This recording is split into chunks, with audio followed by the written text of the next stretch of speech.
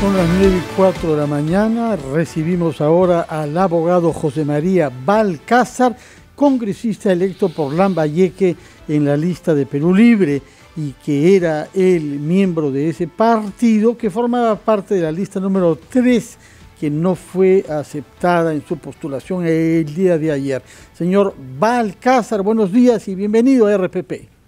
Muchas gracias, muchas gracias por la entrevista. De acuerdo, usted ha subrayado que todos los miembros de su grupo parlamentario, que tiene 37, es el más grande que hay en el Parlamento, tenían derecho a postular a la mesa directiva y fue escogido usted por sus compañeros.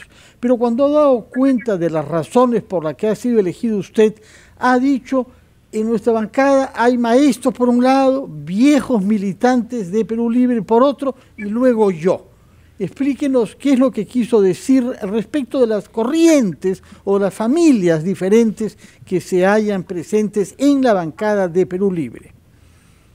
Bueno, la, bancada, como es de público conocimiento, este, está formada por el, el, partido Perú Libre, cuyo líder es eh, el señor Cerrón Rojas.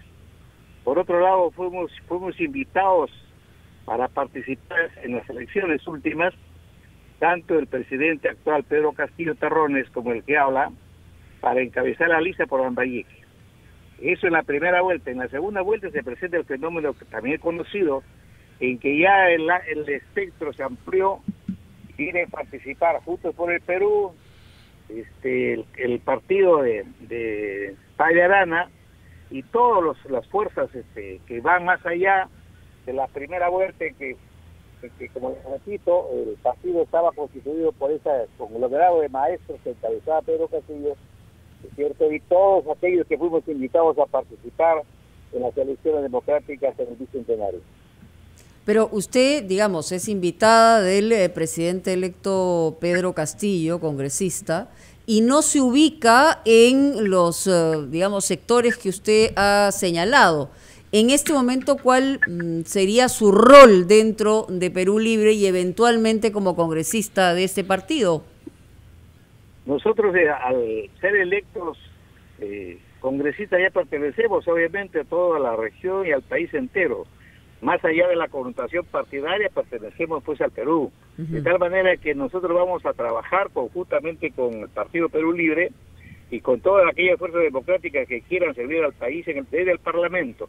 Conceptuamos nosotros que en este momento, en el mundo, el pleno siglo XXI, y coincide con otro bicentenario, eh, que los partidos políticos tienen un rol ahora eh, preciso, específico, no tan amplio con las redes sociales, que han aparecido ahora para ayudar precisamente a democratizar eh, la vida política de todos los países del mundo. Los partidos políticos no son tan relevantes en el mundo como, como, comprenderá y sabe usted perfectamente, de tal manera mm. que la democracia ahora se hace a través de las redes sociales también. Por eso estamos aquí participando desde el Congreso para hacer precisamente no solamente la, la colaboración al programa que se ha trazado el partido Perú Libre, sino para para preservar la democracia, enriquecer la democracia formal que tenemos en el país y hacer una democracia real. Claro, pero para ser específico, o sea, el programa, no hablamos del ideario, hablamos del programa bicentenario.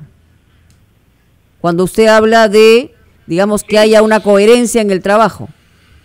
obviamente, el bicentenario es la magnífica oportunidad histórica y coincide con el triunfo de un partido del pueblo un partido de abajo de, de las clases desposeídas frente a una democracia que ha venido siendo conducida para mí erráticamente desde las élites que no están en concordancia con los adelantos democráticos del mundo.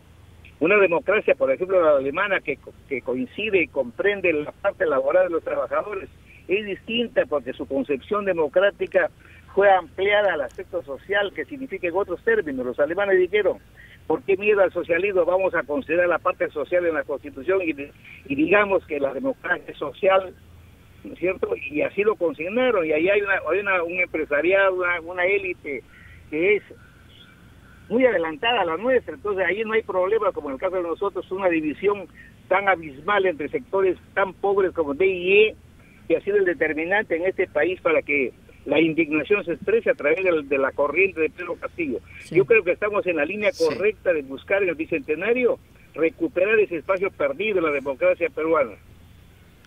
Congresista, ¿cómo está? Buenos días. ¿Cómo se ha recibido en el Partido Perú Libre esta última posición que ha expresado Pedro Castillo en una reunión justamente del fin de semana? Eh, en el sentido de que él no está obligado a perseguir o a continuar con posiciones radicales, eh, que la eh, posición en cuanto a la variante de la Constitución y se va a dar si es que el pueblo lo pide, que él no puede designar ministros solo porque lo pide Perú Libre. ¿Cómo se ha tomado esto? Porque hay quienes consideran que está marcando una posición, una especie de, no tanto de deslinde, pero sí apartamiento en cuanto a lo que manifiesta Perú Libre en su ideario y lo que él tiene que desarrollar ya como presidente de la República. Bueno, yo lo que, yo lo que le puedo decir en, cuanto conozco a Pedro Castillo, puedo decirle que es un hombre coherente, es un hombre que sabe pararse bien, es un hombre que habla como hombre del pueblo, que no miente y dice la verdad. En, las, en plazas y calles ha sostenido y el pueblo ha votado, principalmente por una vida maestra que es hacer la nueva constitución.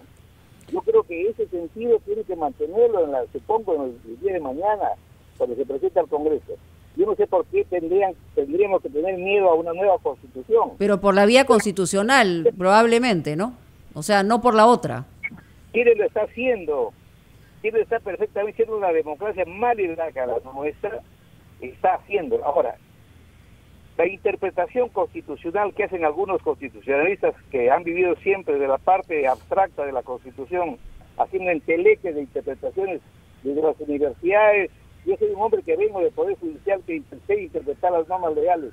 La Constitución actual en ningún momento es contradictoria con lo que se puede implementar, por ejemplo, un referéndum que tenemos una constituyente no prohíbe, tal es así que incluso el propio presidente tiene la primera facultad para poder pedir y llamar a un referéndum y terminemos en una nueva constitución. De acuerdo. Es obvio, es obvio que la constitución hecha actualmente desde arriba nunca recogió las, inquietudes y la realidad de todos los hermanos y todos los, las etnias, los hablantes, etcétera, para que sean incorporados en la constitución. Yo creo que la única oportunidad que tenemos para poder pacificar ese país que está tan interesado precisamente por esa gran diferencia que tenemos. De acuerdo, ojalá que usted contribuya con eso, pero yo quisiera comprenderlo. Nos está hablando de Alemania como su referencia, un país que es gobernado por Angela Merkel con una coalición del centro izquierda con la centro derecha de hace varios mandatos. Y luego ha insistido en una democracia moderna del siglo XXI, digital parece que usted tendría poco que ver con el marxismo-leninismo, ¿no? Pero, pero amigo, es obviamente la gente, las cabezas en el siglo XXI, la gente intelectual que piensa cómo debe conducirse una democracia, estamos bien en el pleno siglo XXI y todas las concepciones filosóficas del marxismo-leninismo, por ejemplo, tienen que ser adecuadas al, al, al pleno siglo XXI. No se puede comprender, por ejemplo, que el marxismo se haya quedado anquilosados pensando que solamente puede existir la lucha la lucha de, la lucha de y en consecuencia el proletariado encabeza pero eso parece en una parte de Perú Libre no parece que se han quedado ahí con el con Lenin citan a Lenin, no de hace más de 100 años. Por, eso le digo, por eso le digo yo tanto Pedro Castillo como el que habla, desde las universidades el que habla y desde la magistratura que he tenido, soy tan consciente que lo único que queda del marxismo válido para poder interpretar la realidad peruana es el materialismo dialéctico, no el histórico. De tal manera que yo creo que no hay que tenerle miedo para nada, que tenemos que ser, como le repito, yo he recorrido todo lo largo y ancho de la parte norte del Perú y me, y me he encontrado con realidades asombrosas de los hermanos quechua hablantes de Incahuas y Cañaris, que no están incorporados a la vida política y económica de la nación. Entonces no podemos seguir entrampados con una élite que nunca ha sabido darle lectura real a lo que está pasando en el país. De acuerdo, ojalá, ojalá que usted contribuya para incorporar a esos compatriotas a nuestra economía moderna y democrática, si es que lo he entendido bien, son sus objetivos, y no estar asociado con un marxismo-leninismo que algunos en su partido siguen creyendo una fórmula mágica. Muchas gracias, congresista José María Balcázar, por su tiempo y felices patrias para usted y su familia. Vamos. Muchas gracias. Muchas gracias y muy buenos días. Vamos a ir a, oír a los anunciantes de RPP y retomamos ampliación de noticias.